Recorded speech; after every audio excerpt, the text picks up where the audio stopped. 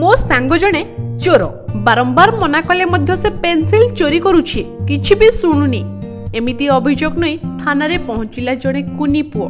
ଯାହାକୁ ଦେଖି ଥାନାରେ ସମସ୍ତେ ଆଶ୍ଚର୍ଯ୍ୟ ହୋଇଯାଇଥିଲେ। ପିଲାଟି ଛୋଟ ହେଲେ ମଧ୍ୟ ତାର ବୁଦ୍ଧିକୁ ମାନିବାକୁ ପଡ଼ିବ।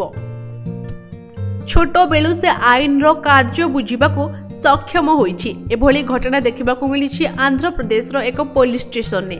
ଘଟଣାଟି ଜାଣିବା ପୂର୍ବରୁ ପ୍ରଥମେ ଆପଣମାନେ ଏହି ଭିଡ଼ିଓଟି ଉପରେ ଟିକେ ନଜର ପକାଇ ଦିଅନ୍ତୁ। ପେନ୍ସିଲ ଚୋର ସାଙ୍ଗକୁ ଧରି ଥାନାରେ ପହଞ୍ଚିଲା କୁନି ପୁଅଟି ଏବଂ ତାଙ୍କର ବିରଳ ଅଭିଯୋଗ ଶୁଣି ଥାନାରେ ସମସ୍ତେ ହସିବାକୁ ଲାଗିଲେ। ସାଙ୍ଗରେ ବସୁଥିବା ପିଲାଟି ସବୁଦିନ ପେନ୍ସିଲ ଚୋରି କରି ନେଉଛି କହି ପୋଲିସରେ ଅଭିଯୋଗ କରିବାକୁ ଆସିଥିବା ସେ କୁନି ପିଲାଟି କହିଛି। ଆନ୍ଧ୍ରପ୍ରଦେଶ ପୋଲିସ ନିଜର ଅଫିସିଆଲ ଟ୍ୱିଟର ହ୍ୟାଣ୍ଡେଲରେ କୋମଳମତି ପିଲାଙ୍କ ଏହି ଅଭିଯୋଗର ଭିଡ଼ିଓ ସେୟାର କରିଛି। ଅଳ୍ପ ସମୟ ମଧ୍ୟରେ ଭିଡ଼ିଓଟି ଭାଇରାଲ ହୋଇଯାଇଛି।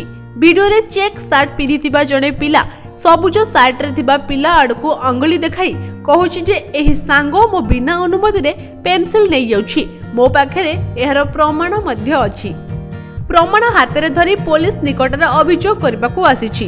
ଆଉ ପୋଲିସ ବାବୁ ସାଙ୍ଗ ବିରୋଧରେ ମାମଲା ରୁଜୁ କରନ୍ତୁ ଏବଂ ତାକୁ ଜେଲରେ ଭର୍ତ୍ତି କରନ୍ତୁ।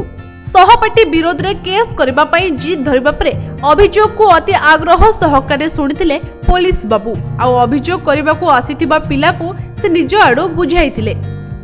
ସହପାଠୀ ବିରୋଧରେ କେସ୍ ହେଲେ ତାକୁ ଜେଲ୍ ଯିବାକୁ ପଡ଼ିବ। ସେ ଆଉ ପାଠ ପଢ଼ିପାରିବନି। ଜେଲ୍ରେ ଜୀବନ ବହୁତ କଷ୍ଟସାଧ୍ୟ ବୋଲି ସେ ପିଲାଟିକୁ ବୁଝାଇଥିଲେ। ଏହାପରେ ଉଭୟଙ୍କ ମଧ୍ୟରେ ଆପୋଷ ବୁଝାମଣା କରାଇବା ସହିତ ହାତ ମିଳାଇବାକୁ କୁହାଯାଇଥିଲା।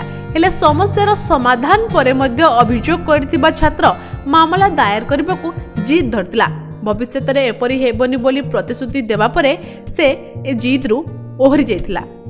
ଉଭୟ ଏବେ ପାଠପଢ଼ା ଉପରେ ଧ୍ୟାନ ଦିଅ ତଥା ଉଭୟଙ୍କ ମଧ୍ୟରେ ବନ୍ଧୁତ୍ୱପୂର୍ଣ୍ଣ ସମ୍ପର୍କ ରଖିବାକୁ ପୋଲିସ ଜଣକ କୁନି ପିଲାମାନଙ୍କୁ ବୁଝାଇଥିଲେ। Bureau report natural news.